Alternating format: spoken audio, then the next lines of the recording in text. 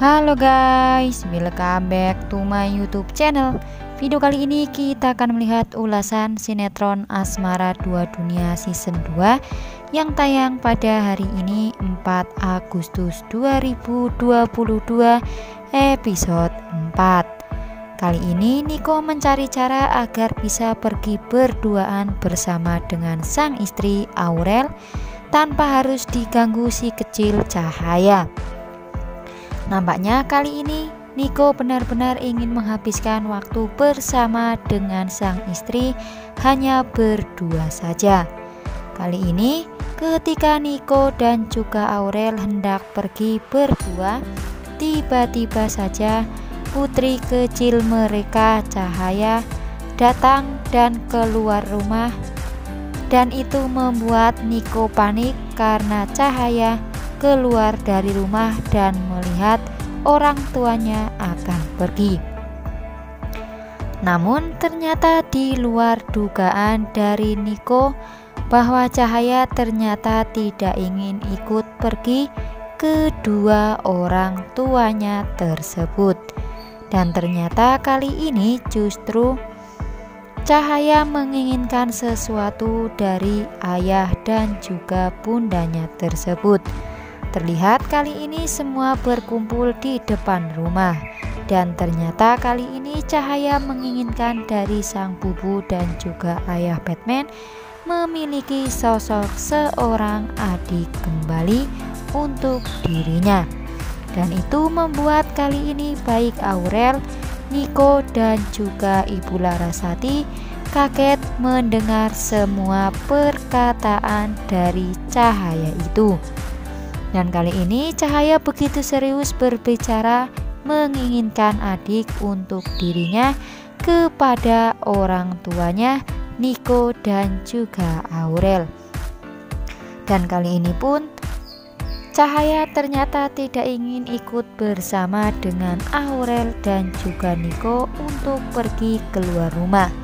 Namun, titipan itu yang diberikan Cahaya kepada orang tuanya yaitu menginginkan adik bayi sebagai teman dari Cahaya agar Cahaya tidak merasa kesepian dan punya teman di rumah. Setidaknya kali ini baik Aurel, Niko dan juga Ibu Larasati benar-benar merasa kaget namun itu sangat lucu dengan semua permintaan yang diminta oleh Cahaya tersebut. Dan kali ini pun akhirnya Cahaya mempersilahkan ayah bundanya untuk pergi berdua namun Cahaya menginginkan mereka untuk tetap bergandengan tangan terus-menerus agar secepatnya dikasih adik bayi dari kedua orang tuanya itu. Pada akhirnya kini Aurel dan juga Niko pergi berdua sesuai keinginan Niko.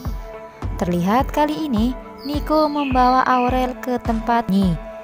Aurel pun bingung kenapa kali ini Niko justru mengajaknya ke tempat yang begitu sunyi dan sepi tersebut. Dan ternyata Niko mengajak ke tempat itu untuk mengulang masa-masa dulu ketika Niko dan juga Aurel saling berkenalan apalagi kalau bukan untuk berdansa bersama. Hal yang dilakukan dari awal Niko Aurel bertemu hingga kini.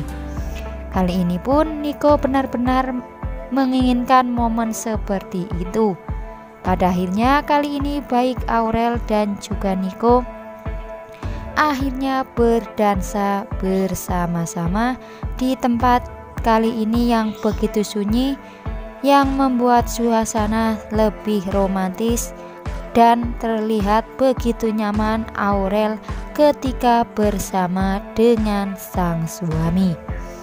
Semoga saja ya guys yang kita harapkan rumah tangga Aurel dan juga Niko yang sudah harmonis dan baik-baik saja tidak akan ada yang bisa memisahkan antara Aurel dan juga Niko. Apalagi kali ini sudah hadir di tengah-tengah keluarga mereka yaitu sosok siluman ular jahat Sekar Manik yang ternyata terobsesi untuk mendapatkan Niko dan juga anaknya Cahaya. Semoga saja yang kita harapkan baik Niko dan juga Aurel bisa menjaga hubungan rumah tangga mereka agar tidak bisa dipecahkan oleh siapa pun termasuk Sekar Manik yang kali ini berusaha untuk merebut Niko dan juga Cahaya dari tangan Aurel. Semoga saja ya guys, yang kita harapkan Niko selalu menjaga hatinya untuk Aurel. Apalagi kali ini nantinya Niko akan dihadapkan dengan Sekar Manik yang setiap hari nantinya akan selalu bersama dengan Niko dan selalu mengintai Niko karena ternyata Sekar Manik sudah melupakan semua dendamnya kepada Niko dan kini berubah menjadi rasa cinta terhadap Niko itu. Semoga saja ya guys. Kali ini benar-benar Niko dan juga Aurel akan tetap bersama-sama apa pun rintangan yang nantinya akan membuat rumah tangga mereka retak. Namun tetap saja mereka akan tetap satu sama lain saling menjaga pernikahan mereka itu. Makin cocok saja ya guys pasangan Nico Aurel ini tentunya membuat para pemirsa di rumah tambah baper dengan semua tingkah-tingkah dari Aurel maupun Nico ini makin penasaran ya guys di, di episode hari ini kira-kira akan ada seperti apa lagi momen-momen Aurel dan juga Niko yang membuat para pemirsa baper dan pastinya akan terbawa perasaan. Tentunya kali ini apakah Niko benar-benar akan menjaga pernikahannya dengan baik seiring godaan-godaan di luar sana menanti hubungan rumah tangga Niko dan juga Aurel. Apalagi ancaman yang nyata adalah Sekar Manik yang kali ini sudah selalu mengintai rumah tangga Niko dan juga Aurel yang ternyata Sekar Manik menginginkan Niko menjadi pasangannya. Makin penasaran dengan episode hari ini kira-kira akan seperti Makanya saksikan terus sinetron Asmara 2 Dunia Season 2 yang tayang setiap hari pukul 16.00 tentunya hanya di Indosiar. Terima kasih dan sampai jumpa.